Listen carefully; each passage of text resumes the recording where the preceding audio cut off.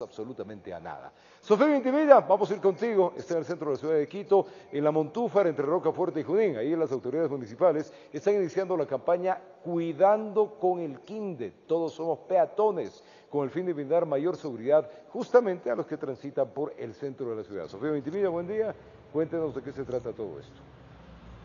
Roberto, amigos, que tengan un excelente día. Así es, el Quinde te cuida, todos somos peatones. Esa es la campaña que vamos a presentar el día de hoy, el municipio de Quito, donde cada vez que la ciudadanía vea estos Quindes pintados en la calzada, obviamente tendrá que respetar los pasos cebra. Vamos a hablar con Fausto Miranda, quien es el secretario de Movilidad del Distrito Metropolitano, para que nos amplíe esta información. Lo más destacado de esto, ¿por qué denominar el Quinde Te Cuida? ¿Por qué poner ese nombre a la campaña? Sí, muy buenos días. Como bien usted lo indica, el Quinde Te Cuida, todos somos peatones, tiene dos objetivos. El uno, el Quinde es el ave emblemática de la ciudad, declarada en junio del 2005, donde la ciudad tiene más de 55 especies de las 300 que tenemos en el mundo. ¿Y por qué todos somos peatones? Porque en un momento de nuestra vida todos somos peatones, el conductor, el ciclista o el mismo peatón.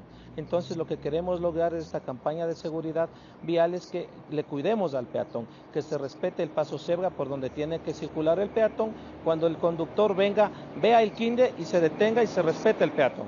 ¿Dónde serán pintados estos quindes?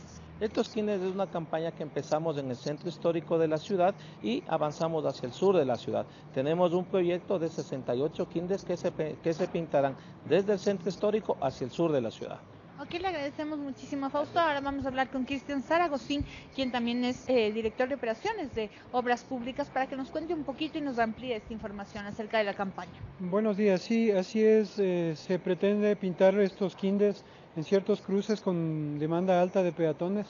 El objetivo es concientizar tanto a peatones como a conductores el respeto al paso cebra. El paso cebra en la ley de tránsito está determinado como de prioridad para el peatón si lo vemos de cómo se conforma, está eh, con las líneas cebra y además tiene unas líneas transversales que significan de ceda el paso.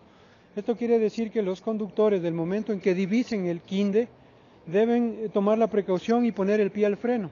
Si es que existen peatones, eh, detenerse y ceder el paso al peatón.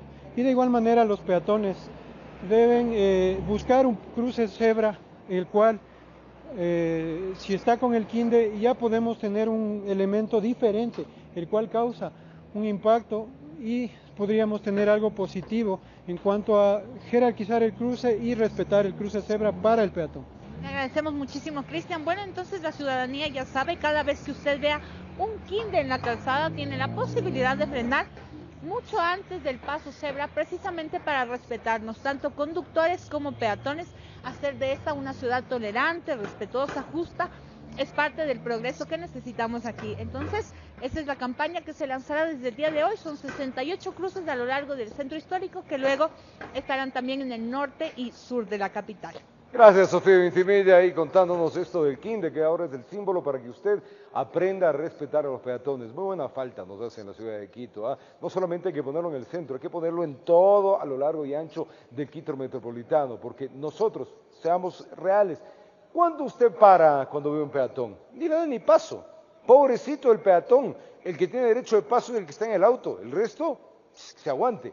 Y eso estamos totalmente equivocados. Cuando uno ve un paso cebra, el derecho de paso lo tiene el peatón.